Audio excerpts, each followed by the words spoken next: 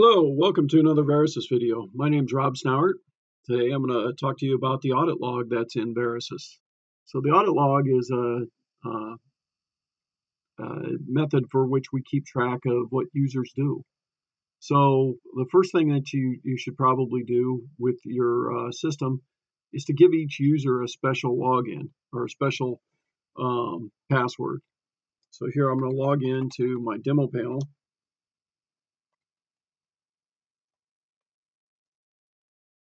and let's uh, talk about that. So if you're gonna, let's say you have three users on your on your system, you'll want to go into the settings and into the administration and make sure that you have three users set up here for um, so you can keep track of each different individual that's going into the system. If everybody was to log in like I just did underneath the admin password, it doesn't differentiate which user is doing what. So it's very important that if you're going to make the audit log meaningful, that every user has its own their own password. So now I'm going to jump over to the audit log.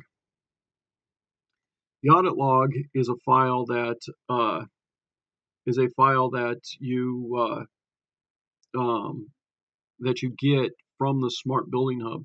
So you have to be on a PC. This will not work on a phone or an iPad or any other thing besides a PC.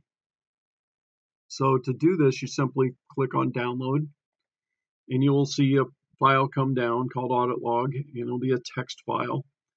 That file will be located underneath um, your download directory on your PC. So there you could simply open it and open it with any kind of a text editor, and this is what you will see. So the data that's all been coming in has been added into this text file, and so you can go through and you can search for it based off of somebody's name. Now I know many of you right now are saying, "Boy, this this is just crap." So uh, it all comes into a text file in this way for a specific reason. You will notice that if we can catch and find some of the commas, so there's a comma, that'll separate various parts of the data.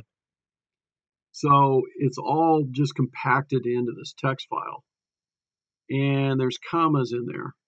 So uh, um, what you can do with this is you can change it to what's called a CSV file, comma separated variable file.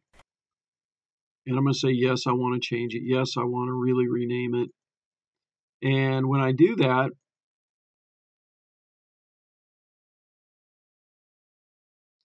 it will pull open Excel.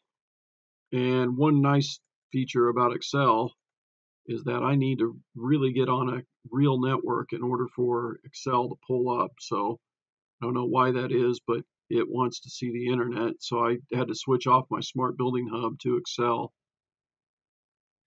so I could get it to come up. So anyway, that's one of them unwritten uh, features of Excel is to make sure you're on a network when you open up a file. Um, that said, uh, it will start with the first item in, so you can kind of see some date and time stamps on on this. In this case, uh, 721 2016 was uh, when we first when I first started using this particular uh, smart building hub. It's been one that I've been using for testing for a long time. So it's been keeping track of what I may have used it for. So there's a lot of data in here. We'll uh, go ahead and uh, come down to the latest date.